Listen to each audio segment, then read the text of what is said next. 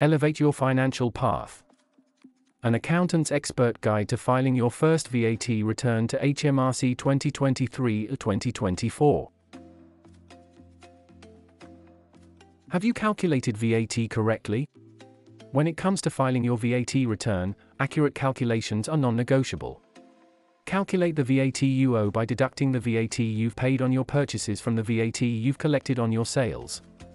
HMRC provides guidelines on how to perform these calculations.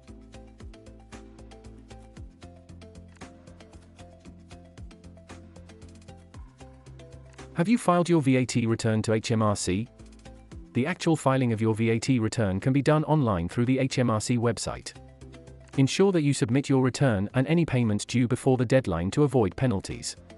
Late filings can result in financial penalties, so it's crucial to stay on top of your deadlines.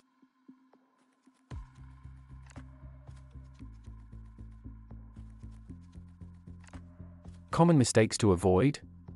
Filing your first VAT return can be a learning experience. Be aware of common mistakes, such as miscalculations, late filings, and incorrect data entry.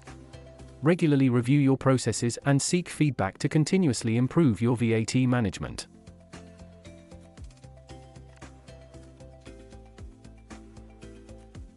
As we have a huge demand please let us know your questions in the comment section for our future videos, and be sure to subscribe for the latest tax updates.